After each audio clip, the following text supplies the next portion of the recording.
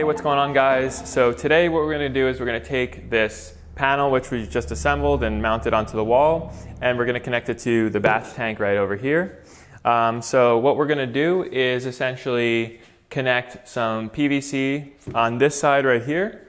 It's going to go into the top of the tank and then at the very bottom of the tank we've got a little connection right there so we're going to put some PVC right there. It's going to go into this pump and then it's going to go back into the manifold. So essentially, we're just going to create this little mixing and dosing loop. All right, so the first thing I'm actually going to do is I'm going to mount a little bit of unistrut on the wall, and that's going to make it easy for us to mount the PVC onto the wall and give it a little bit of space since the manifold sticks out. So uh, I'm to go ahead and do that now.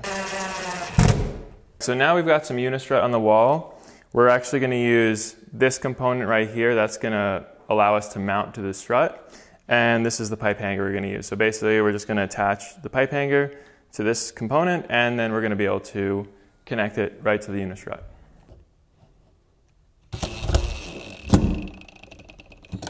There we go. All right, so now we've got everything set up. So the next step, we're just going to connect our pipe from the bottom of the tank into the circulation pump through the pipe hanger over there and then into this end of the manifold.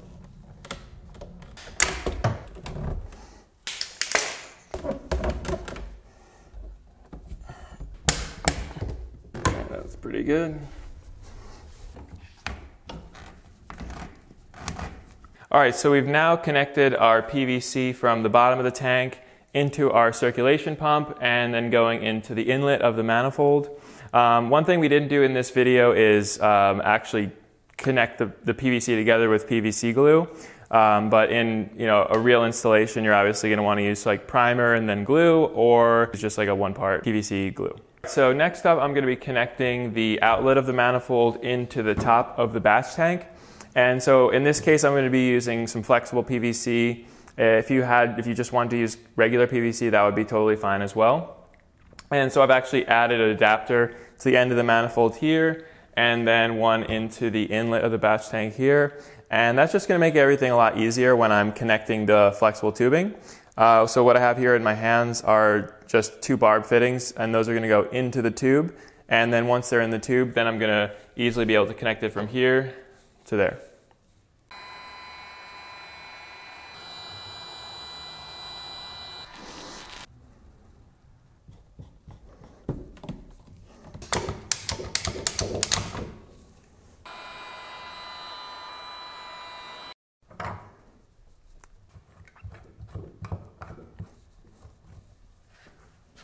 All right, so we basically have uh, an entire batch tank system set up. So I'm going to go over how this works.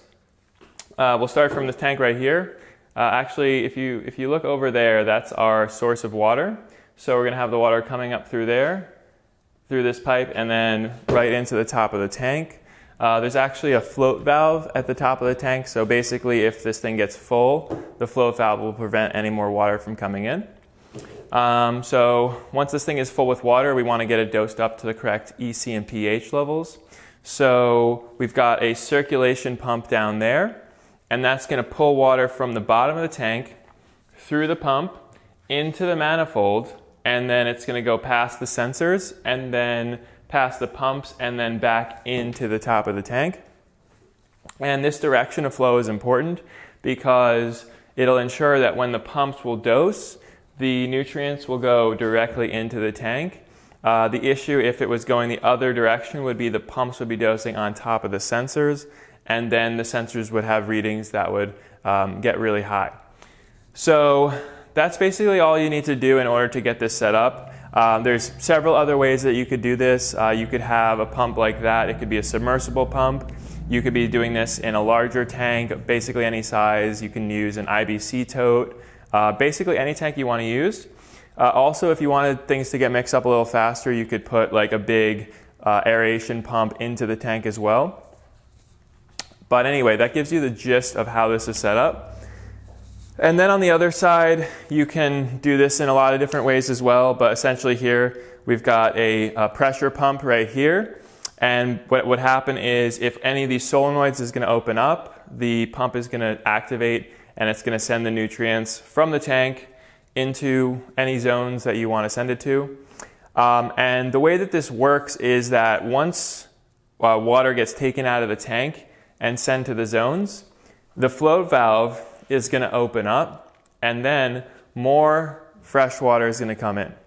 And when that happens, the EC and pH is going to change. The EC is definitely going to go down. And that's going to tell the doser to turn back on and add enough nutrients so that you get exactly back to the level that you want. And it will do the same thing with pH. Um, basically indefinitely until you make any changes. So once you have everything set up, there's a couple more steps you need to take. Um, one of them would be calibrating your sensors, calibrating your pumps. We have more videos for that already. And uh, the next video after this, we're also going to show you how to connect your system to the cloud and set up your dosing so that you can make sure that um, you've got everything figured out perfectly.